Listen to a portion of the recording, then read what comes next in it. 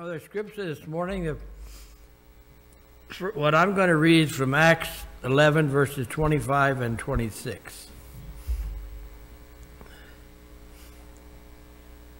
Then departed Barnabas to Tarsus for, for to seek Saul. And when he had found him, he brought him unto Antioch. And it came to pass that a whole year they assembled themselves with the church and taught much people. And the disciples were called Christians, first in Antioch.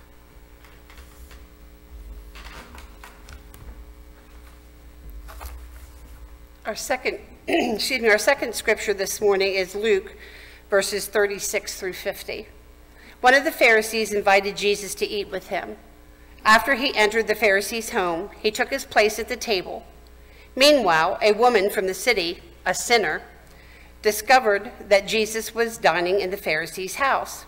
So she brought perfumed oil in a vase of alabaster, standing behind him at his feet and crying. She began to wet his feet with her tears. She wiped them with her hair, kissed them, and poured oil on them. When the Pharisee who had invited Jesus saw what was happening, he said to himself, If this man were a prophet, he would know what kind of woman this was that was touching him. He would know that she is a sinner. Jesus replied, Simon, I have something to say to you.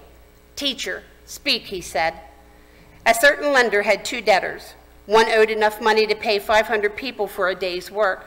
The other owed enough money for 50. When they couldn't pay, the lender forgave the debts of both. Which of them will love him more? Simon replied, I suppose the one who had the largest debt canceled. Jesus said, You have judged correctly.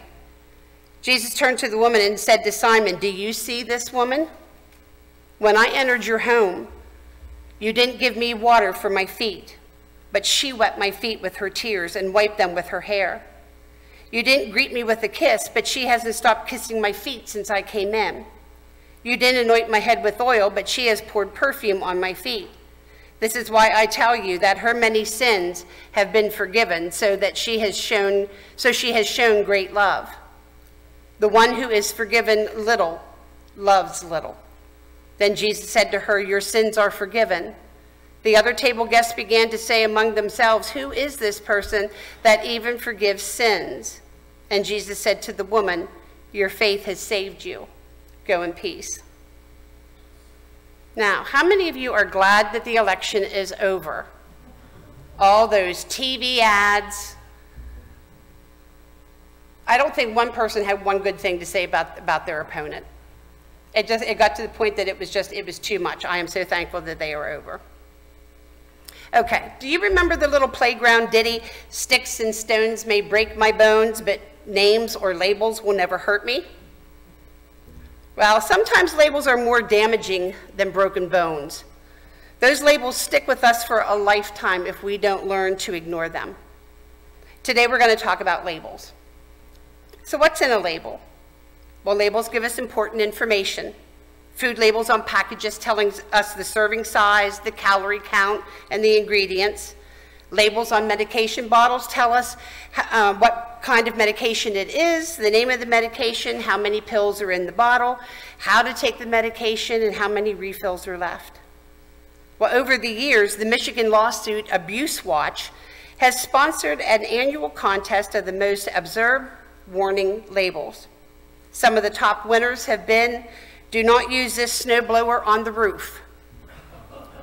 Do not allow children to play in the dishwasher. A warning label on an iron advised do, do not iron the clothes while they are being worn. On a cardboard sun shield for the car, do not drive with the sun shield in place. There's one on a portable stroller that says, caution, remove infant before storing. In the microwave oven manual, it says do not use for drying pets. Okay, well, now, why would they make these labels? You think, you think that, you know, people ought to know this. Doesn't it seem obvious enough that, you know, you shouldn't use these products in these ways? But you just know that somebody had to have tried doing these things so that they made the labels to warn against it. Warning labels often warn about the obvious. So, have you ever seen a sign that says wet paint? When someone sees that sign, what can you count on them doing? That's right. They're going to touch that wall to see if that paint is still wet. So labels last a lifetime and beyond. To prove this, I'm going to have a little contest with you, and I want your participation. I'm going to begin a name, then I want you to finish it. Attila the Hun, Conan the, Buffy the, correct, Winnie the, Popeye the, and Rahab the harlot, prostitute. Yep. You know, some people in the Bible have uh, labels. Some are good and some of them are not so good. Adam, he was the father of the human race. Noah, he was a shipbuilder, but he was also a drunk. Moses was a stutterer and a murderer. Jacob was a trickster. Gideon was a warrior. David was king, adulterer, murderer, poet, musician. Solomon was the wisest man who ever lived. Daniel was a man of prayer. Matthew was a disciple and a, and a tax collector. Peter was a fisherman and a disciple. Thomas was courageous, a doubter, but he also planted a church in India. Saul, or Paul, was a Pharisee. He was a tent maker, but he was a persecutor and then became a missionary. Judas was a disciple, but he betrayed Jesus. So, what are some of the labels that we use to name ourselves? Smart, dumb, thin, fat, lazy, hard worker, angry, frustrated, happy, sad, secure. Labels imprison us. They imprison us in categories that are hard to escape. These labels tend to stick to us and they build up layer upon layer upon layer and are, are hard to remove. Thus, we become encased in our labels. So, so, what are some of the labels that we use to call others? Lazy, smart, dumb, dirty, liar, beautiful, ugly, too thin, too fat, athletic, too old, too young. How do you define yourself? By your vocation, teacher, nurse, doctor, dentist, housewife, pastor, lawyer? Or do you define yourself by your accomplishments? I built my own house. I'm in the Hall of Fame. I hold a world, record. So, what happens once we get caught up in the, the uh, label game? We allow the labels to define us. And when we allow the world to define us, it leads us to become thirsty in our souls because we may not like how we have been labeled. Maybe we cannot live up to the labels that we have been given. In life, we can get stuck in allowing the world to define who we are through labels. One of the most difficult things we need to do in life is to ignore what the world has to say about us and instead listen to what God says about us. God tells us who we are. We are defined by grace. God says that we are chosen, loved, pure, free, worthy, victorious, purposed, and valuable. Those are just a few of the words that our Heavenly Father speaks over us. A label may denote several things ownership, contents, handling instructions, point of origin, destination, etc. The term Christian is a label that we should cherish. It means an adherent to Christianity, to give support, to maintain loyalty. It also means little Christ, which at that time was a very derogatory term. When worn truthfully, Christian tells the world a great deal about us. Many package labels uh, bear the markings fragile, handle with care, but this should never be associated with the label of Christian, which we wear. The Christian is instructed by the Apostle Paul to suffer hardship with me as a good soldier of Jesus Christ, which is from 2 Timothy 2 3. So let's recount our story from Luke. Jesus goes to have a dinner with a Pharisee, and an uninvited guest shows up. The uninvited guest, a harlot or prostitute, stands behind Jesus and gets his feet wet with her tears, However, we don't know why she is crying. Then, probably embarrassed, when she got his feet wet, she dries them with her hair because she has no towel. Now that she is near him, she opens her jar of perfume and she puts it on his feet. We don't know how Jesus felt, but he saw through her and didn't react to her like you and I might have. Simon is different. He begins to criticize this scene in his mind, probably turning red in the face with anguish, embarrassment, or suspicion, saying to himself, if he knew, meaning Jesus, if he knew what kind of person this woman was, he would tell her to stop this behavior in my home. Jesus' conduct didn't meet the rig rigorous religious leaders' expectations of Simon.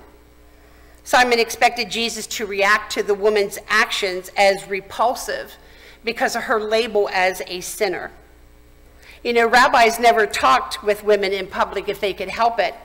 And if they did, they were very, very careful as to how they conducted themselves. It isn't much different than with the Muslim and Taliban society of today. They treat women as second class citizens. Yet Jesus did nothing to interrupt this woman. He didn't do anything to stop her, and in doing so, was passively approving of her actions.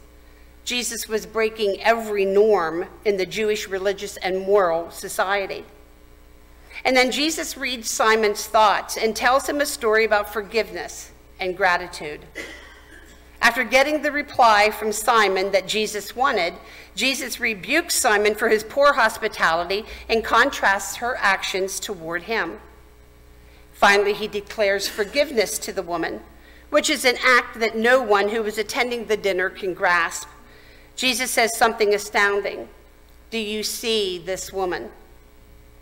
Simon the Pharisee didn't see her the way that Jesus did. Simon could not see past the label, sinner, loose woman, etc. Simon was practicing a religion of exclusivity. He was in the in crowd, she was in the out crowd. He was one of the saved, she was not. He was one of the holy ones, and she was not. Whenever we use dismissive labels to define people, they blind us to the value of that person, and we miss the opportunity to be channels of God's grace to them. Labels like baby killer, murderer, freak, adulterer, loose woman, predator, etc. These are terms that tend to demonize people. We put labels on people so that we can dismiss them as unworthy of our time, our attention, and our love.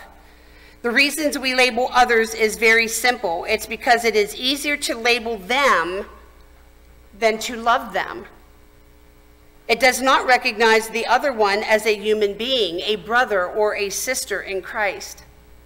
Labels are tools that we use to devalue people so that we can justify our holier than thou attitude, as if we're any better except by the grace of God.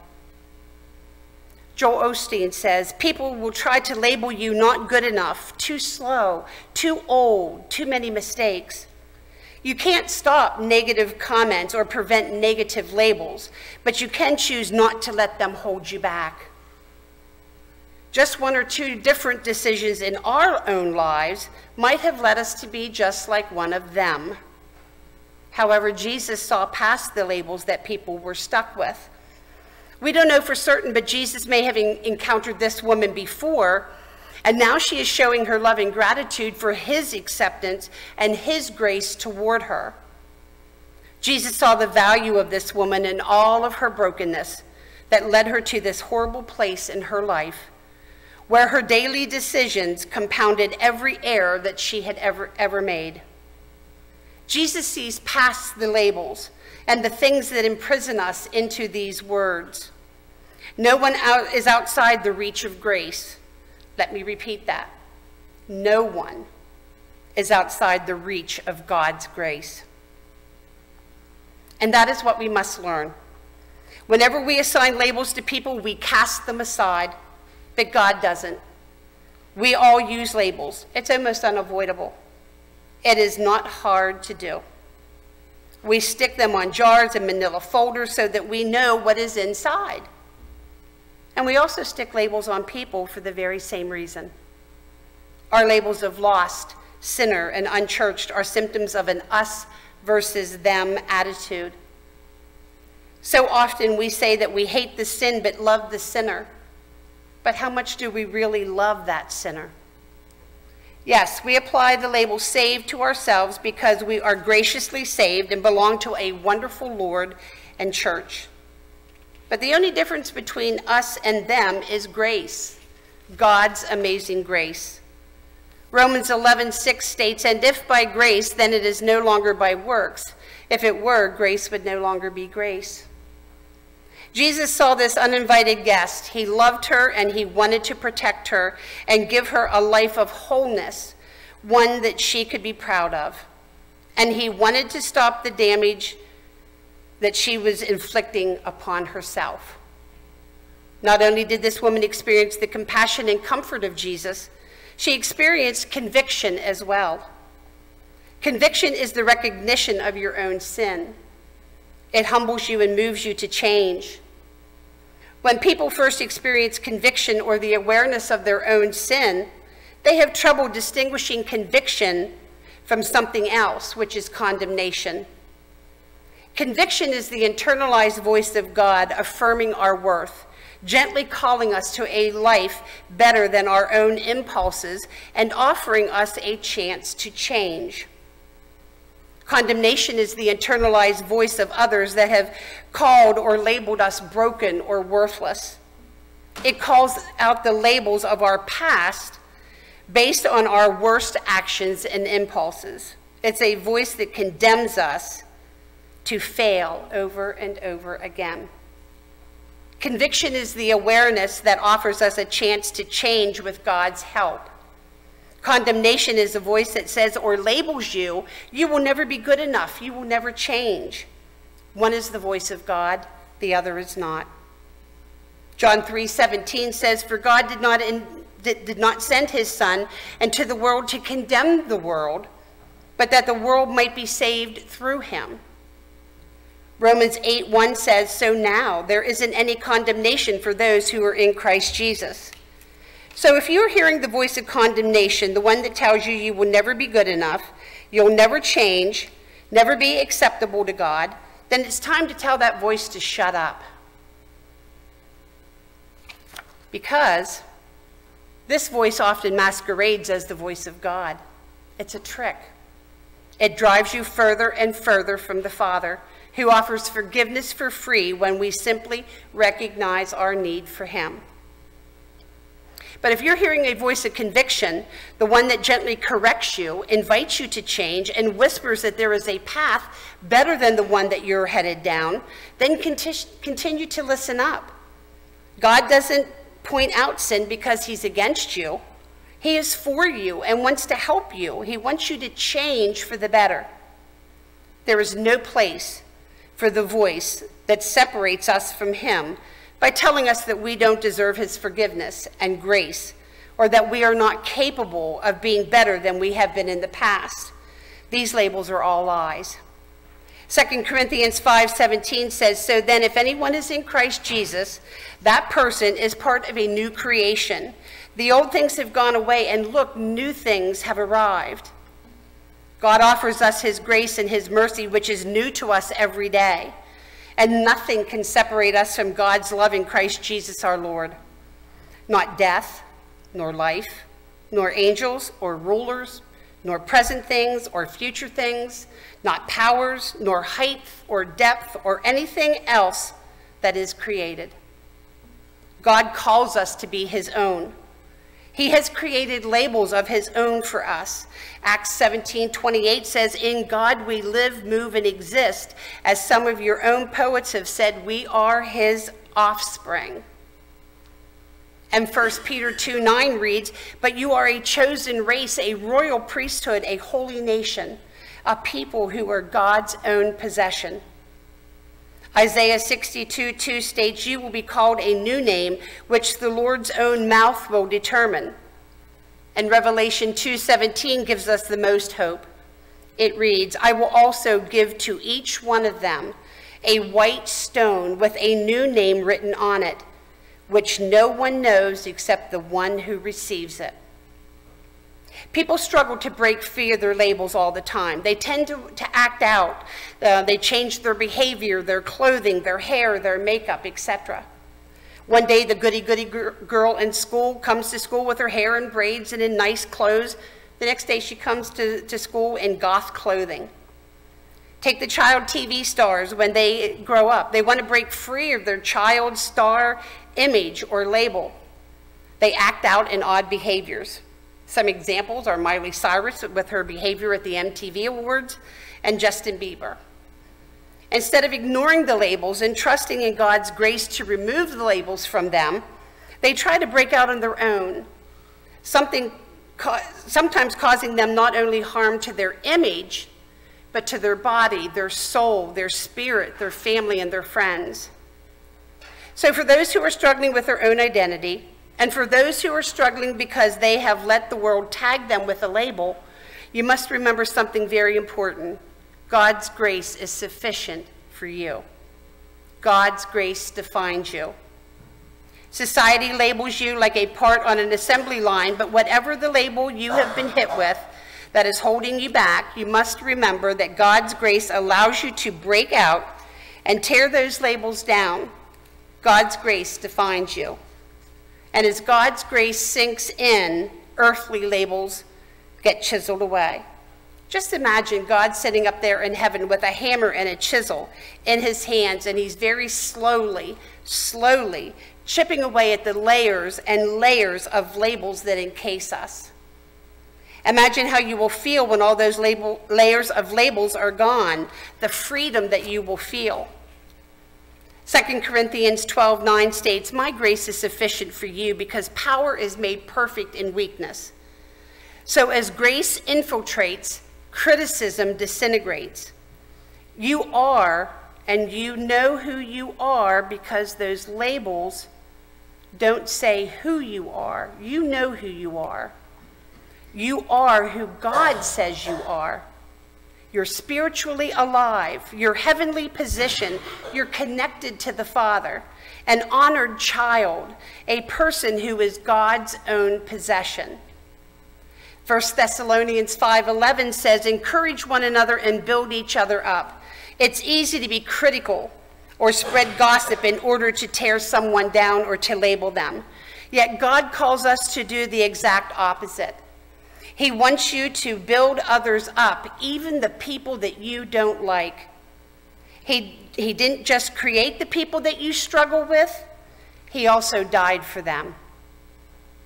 So remember, God says we are chosen, loved, pure, free, worthy, strong, victorious, purposed, and we are valuable. Those are just a few of the words that our Heavenly Father speaks over us. We just need to remember who we are in Christ and boldly declare and live in that identity today. Let us pray. Lord God, Heavenly Father, you are so good to offer us freedom. Thank you for freedom from the condemning voices and labels of others, and even the condemning voice or label that so often sounds within our heads. Thank you for offering us freedom from our past sins and mistakes. If there is anything in our lives that is keeping us from you through the deception of sin, please bring us the gift of conviction and the desire and strength to offer that sin to you for forgiveness, mercy, grace, and change. Let us speak words of compassion and not condemnation over those you love, including ourselves. And loving God, show us the area where we are tempted to point a finger and label others. Give us new eyes to see others the way you see them and to react to their mistakes with your grace and your mercy. When you give us the gift of being convicted for our own sin, help us to look on our own hearts with the same gentleness that Jesus had for the unnamed woman. Teach us not to label ourselves or others. Make us a part of shaping your church as a place of welcome, forgiveness, mercy, grace, and love. And in Jesus' name we pray. Amen.